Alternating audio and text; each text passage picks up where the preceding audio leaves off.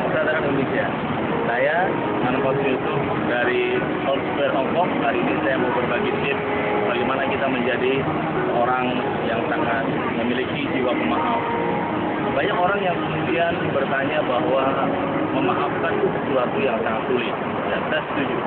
Memaafkan bukan pengetahuan, memaafkan adalah kebiasaan atau habit.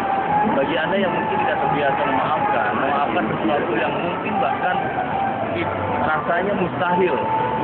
Tapi buat Anda yang sudah terbiasa, punya kebiasaan memaafkan, maka setiap ada sesuatu yang menyakiti Anda, Anda akan memaafkan.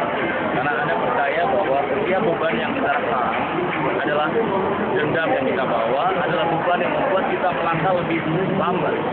Anda ingat bahwa pelari tercepat Olimpiade, Ben Johnson, dia akan kalah dengan seorang pelari kelas Indonesia, Indonesia, karena Ben Johnson lari dengan membawa beban. Sementara pelari dari Indonesia dia lari tanpa beban. Lupa dengan Ben Johnson, kadang-kadang hidup kita ini banyak beban. Dendam dengan orang lain, membenci saudara kita, tidak rela dizolimi orang. Pada saat kita rekam semua dendam itu, maka membuat kita larinya pelan dan akhirnya walaupun kita hebat dilahirkan, ternyata kita nggak bisa memenangkan setiap persoalan hidup kita. Dalam buku One Minute Awareness ini, saya tulis bahwa bagaimana Anda bisa lari secepat rusa yang kencang dan meninggalkan semua beban-beban Anda.